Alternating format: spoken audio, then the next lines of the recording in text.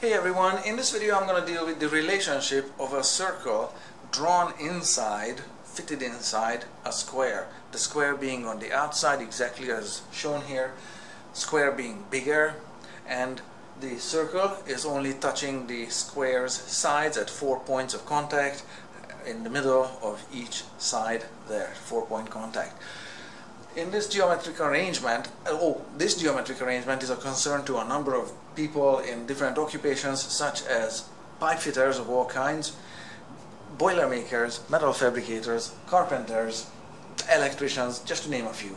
For example, in an electrical context, the circle, the area of the circle is the area of the around conductor, around wire in its cut across cross-sectional area this cross-sectional area can be measured in circular mils in North America or square millimeters or whatever.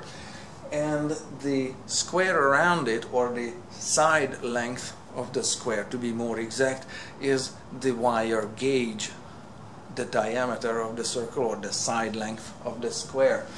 So how the wire gauge and the cross-sectional area of the wire relate to each other that this, this is the same geometric relationship. So there's examples abound. I don't want to give you more examples. I want to get going with this uh, geometric explanation here about this number that you've seen in your calculations probably. I'm working with the glare here, so 78.5% if you want to look at it that way. This number is telling you by how much is the circle smaller than the square. If the square is being 100%, and this formula here is the area of the uh, circle here. And this formula here the side length lowercase a and that uppercase a is being the area of the square. It doesn't say the square but if the area of the square is being 100% then the area of the circle will be about 78.5% whatever plus change. It's an infinite decimal number it keeps going exactly as you see it on the calculator here. And you might in your line of work work with this number truncated to four decimal places. And the, your instructor might have explained it to you this way that here are the 7, 8, 5 and 4 on the calculator. So you go around in a clockwise direction starting with the 7 in the upper left hand corner when you enter the number in your calculator so just go 0.7854 so there that number is close enough to for most calculations to this number. If you want more decimal places so that they are. Sorry working with the glare here. So in this video I'm going to focus on this 78% number. Again it's important for comparison because this is a comparison. I know area of a circle is not measured in percentages but this is a comparison and comparison is given in percentages so if the square is 100% in terms of area then the circle's area is about 78%. Now if you consider the comparison backwards, if you consider the circle to be 100%, then the square will be bigger, about 127 or some such thing. It's going to be something like that, a number like that. Let me just put it on the calculator's display here. That number. So 127, so 27% bigger. The square is 20%, 27% bigger than the circle, but I'm going to focus on the comparison being done this way, starting with the circle, sorry, starting with the square and the circle being second. So, this number is, uh, I'm going to explain how this uh, number, 78.5% uh, comes about in a geometric kind of reverse engineering or backwards uh, logic uh, explanation here. I have another explanation that's a forward steps sequential steps explanation. I'm going to include a link to that video in this video's description box below. And I think that that video is titled What the heck is 0.7854? So that's going to be a forward explanation without geometric detail. This is going to be a geometric variant, but the steps taken backwards. Arriving to this uh, 0.7854 number being correct. So, like I mentioned in passing, the side length of a circle, sorry, the side length of the square here, marked with this blue A, is the same as the diameter of the circle. This is how a wire gauge works. You measure it like this. So I'm replacing the letter A, lowercase a, because it's super confusing with the uppercase A, with the diameter, with the D. And again, as a memory jogger, I am, I don't know if I mentioned this, probably not, that this 0.7854 number is pi divided by 4. How do I know that this is pi divided by 4? I'm going to have a geometric and algebraic proof here side by side. So all I did was I colored this extra 20 something percent extra meat around the circle just showing the circle is smaller, the square is bigger. I just moved it out from one corner to another so that's the area for calculating the area of the square.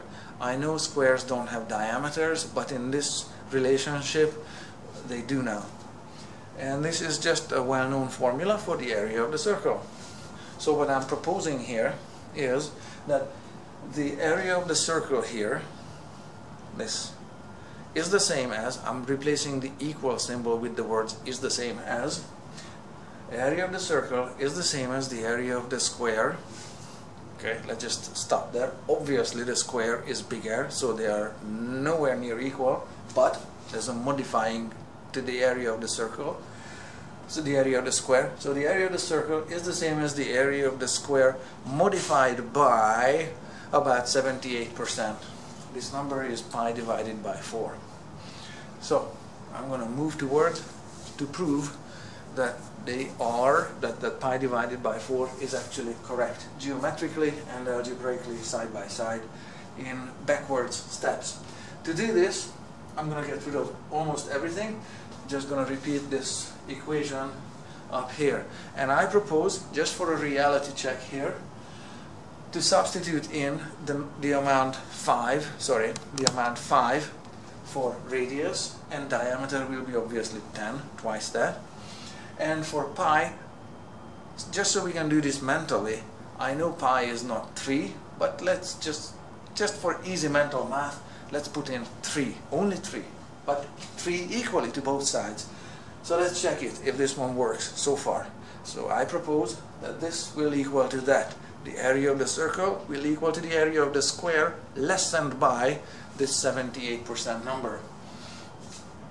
So the radius squared, 5. 5 times 5, because that's what squaring means, that you times it by itself. 5 times 5 is 25. Keep the 25 in your head. 25 times 3, 25, 50, 75. So this side of the equation is 75. The other side here, diameter, let's square it, so times it by itself. 10 times 10 is 100. 100 times 3 quarters. What do we do with the fraction? Just work with me.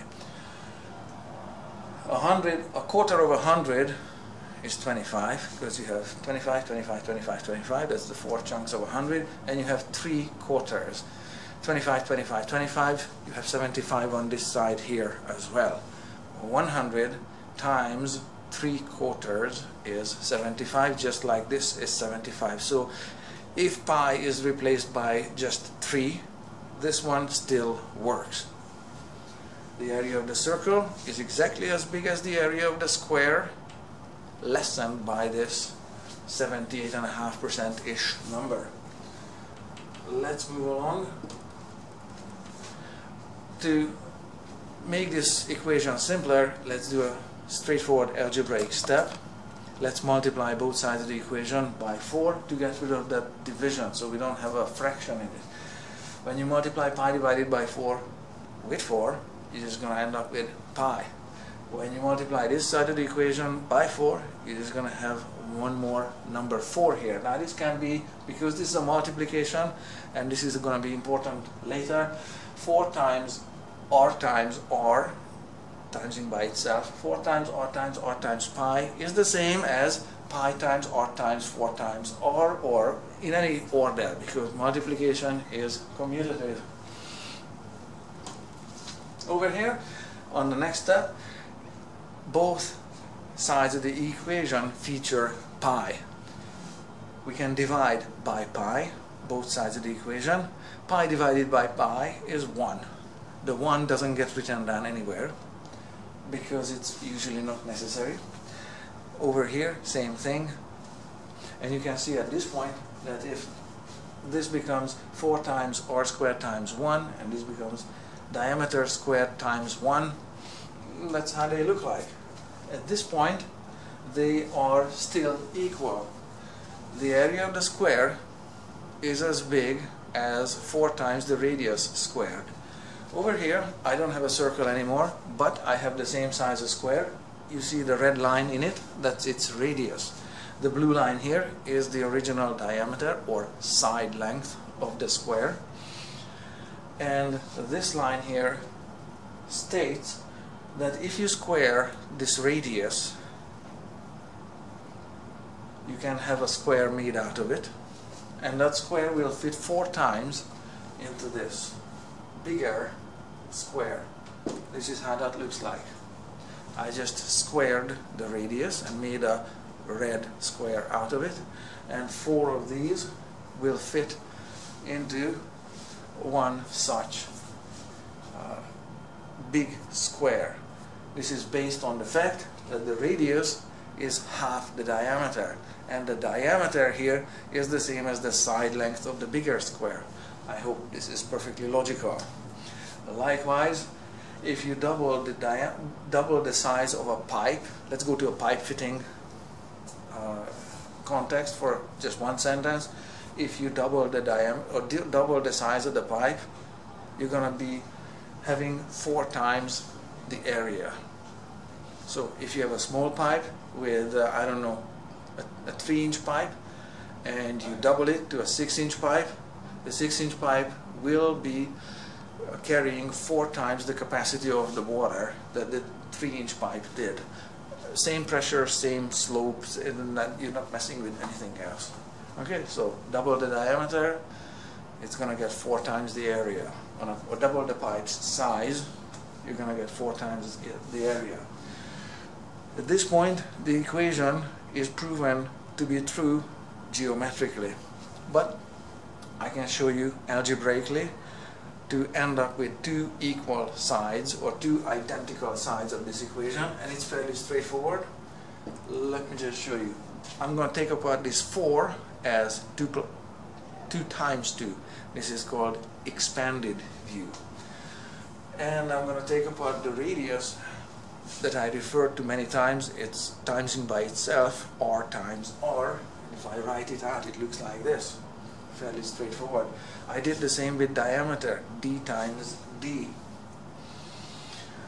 Because multiplication here is commutative and you can multiply these four numbers in any order you like, it, will still work out to be the same number. I can rewrite that this arrangement of letters here this way. You can see where it's going. Twice the radius is essentially the diameter. There it is. This is the last step. Diameter times diameter is the same thing as diameter times diameter.